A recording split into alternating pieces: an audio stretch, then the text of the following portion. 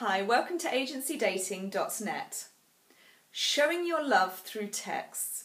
It may seem unlikely, but you can actually show your love through texting.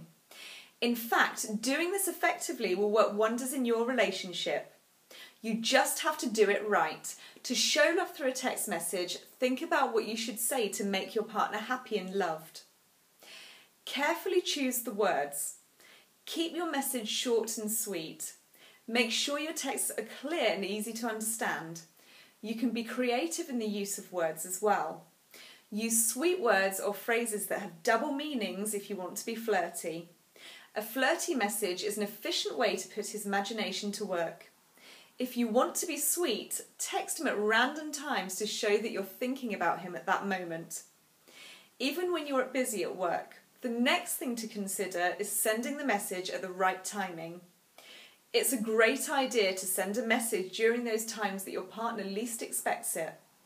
It will also increase the excitement and increase the surprise. I'll see you next time on agencydating.net.